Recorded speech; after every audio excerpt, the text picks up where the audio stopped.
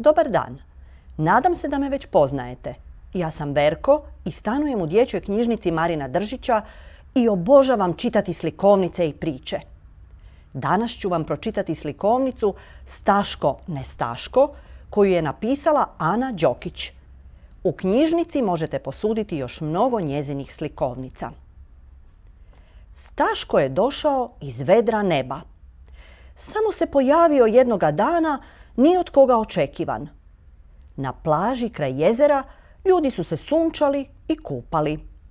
I nakon kupanja čekali na red kako bi se otuširali. Imam i ja tuš, zagrmio je Staško. Sve ću vas skupa odjednom dobro otuširati. Ne trebate više čekati u redu.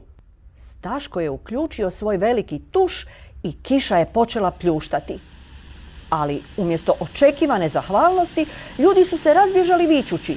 Ne, Staško! A onda je nastao muk. Na plaži pokraj jezera više nikoga nije bilo. Jedino su žabe veselo kreketale pozdravljajući kišni oblak. Staško je isključio svoj veliki tuš i zaplovio dalje nebom.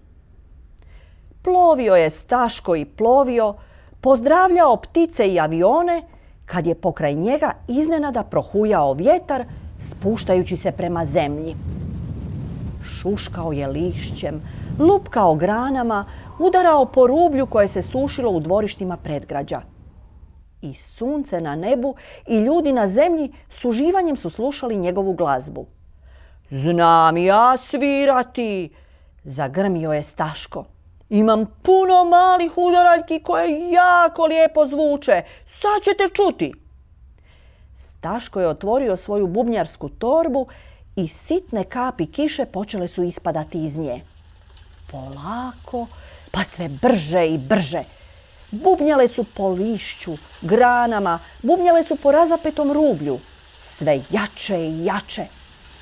Ali umjesto očekivanog oduševljenja, ljudi su se rastrčali po dvorištima, skupljajući rublje i vičući. Ne, Staško! A onda je nastao muk. Sunce je zašlo. Ljudi su se zatvorili u kuće. Jedino su se kapi kiše nečuno ljuljuškale na praznim štrikovima. Staško je spremio preostale udaraljke u svoju bubnjarsku torbu i produžio put. Putovao je Staško sve dalje i dalje. Sunce je zašlo, mjesec je izašao, a Staško je i dalje bio na nebu.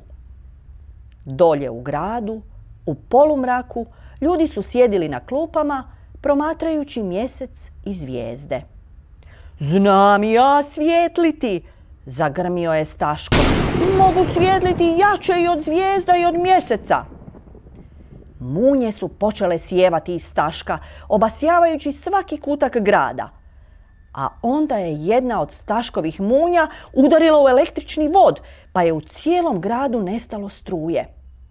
Umjesto očekivanog oduševljenja, iz mraka se čulo ljutito gunđanje.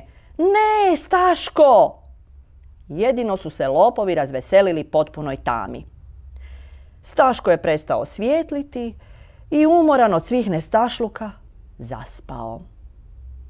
Kada se probudio, dolje ispod sebe ugledao je snježni proplanak i djecu koja su se sanjkala.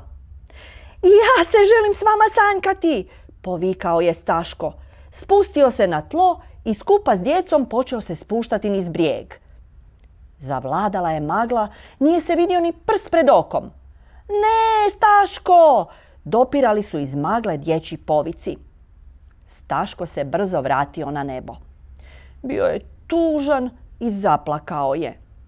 Njegove suze počele su padati topeći snijeg i snjegoviće, stvarajući blato na sve strane. Ne, Staško! Odzvanjalo mu je u glavi. Na proplanku više nije bilo ni snijega, ni djece. Jedino su kišne gliste i jaglaci veselo izvirili. Staško je obrisao suze i pustio nebeskim strujama da ga nose. Sutradan je osvanuo vedar dan bez oblačka. Bez Staška. Možda je susreo druge oblake i s njima u društvu nastavio put – ili je otišao negdje gdje mu se svi vesele.